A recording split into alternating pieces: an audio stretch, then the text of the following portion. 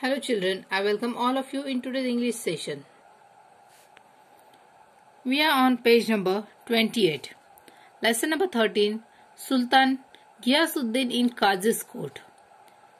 Hundreds of years ago, in eastern province of Bengal, Sultan Ghiyasuddin Azam Shah ruled the land.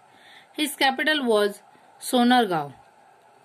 Sultan Ghiyasuddin was a good ruler. He ruled wisely and well. He respected men of learning. He had a deep regard for law. One day, while the Sultan was practicing with his bow and arrows, he accidentally wounded the only son of poor widow. The wounded boy did not survive. Weeping and wailing, the poor widow went to Qazi and told him what had happened.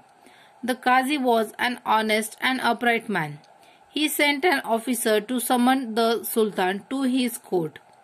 When the officer reached the palace, the guards stopped him and inquired about his business. When they learned that he had come to serve a summons on, on the Sultan, they were shocked. They refused to let him go inside the palace. The officer was now in a fix.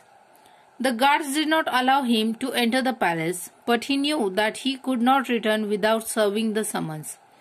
The Qazi could not take him back. He had to find a way of reaching the Sultan somehow. What could he do? He thought and thought. At last, he began to sound the azan, the call for prayer, loudly, just outside the palace. It was not yet time for the prayer. When the Sultan heard the loud untimely call, he was greatly surprised.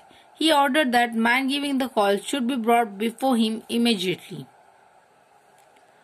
His soldiers rushed out of the palace gate, caught the officer, and took him to the Sultan within moments.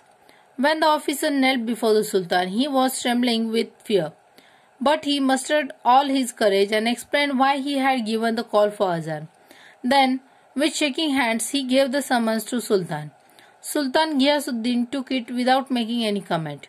He read the summons and told the officer to go back to the Qazi. He announced that he, could, he would appear in Qazi's court the next day. The next morning, the Sultan got ready to appear before the Qazi. He hid a sharp sword in his robe and set out. The courtroom was packed with people. Everyone was eager to see what would happen. The Qazi entered and took his place on the high seat of honor. In a little while, Sultan Ghiyasuddin entered the courtroom. Everyone stood up to show respect to Sultan, but the Qazi did not get up. The Sultan stood in docks and the trial began. The widow presented her complaint. The Qazi took note of all the evidence and in a grave voice addressed the Sultan. You are guilty of causing the death of the only son of this poor widow. According to law, you must pay fine for this offense. I order you to do that without delay. The Sultan accepted the judgment and apologized to the widow. He arranged to pay the fine immediately. The widow felt satisfied that the offense was brought home to the offender. When the case was over, the Qazi got up from the high seat of honor respectfully. He bowed to Sultan and expected him to take his seat. The Sultan then drew the hidden sword from his robe and told the Qazi, I am happy that you did not waver in your duty. You did not hesitate to punish me, otherwise, I would have beheaded you with, the, with this sword. The Qazi then put his hand under the cushion where the Sultan was seated and brought out a whip. He said, Your Majesty, I am happy because you obeyed the law. Otherwise, I would have whipped you in this court. The Sultan then got up and embraced the Qazi. Thank God we both did our duty, he said. Everyone present in the courtroom praised the two great men. So, children, we read a story named Sultan Ghiyasuddin in the Qazi's court.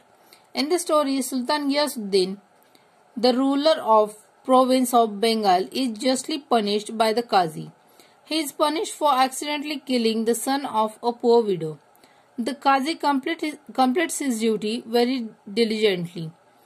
He very aptly treats the Sultan as any other common man. The story also talks about how the Sultan respects the law of the land. Thus, we see that both the Sultan and the Qazi discharge their duties properly. In the end, justice is done. So children, this was all about Sultan Ghiyasuddin in Qazi's court. On page number 78 in your workbook, there are quick check questions. You have to complete those questions in your notebook. Read the lesson three times and also from page number 80, complete your workbook in neat and clean handwriting. Thank you. Bye.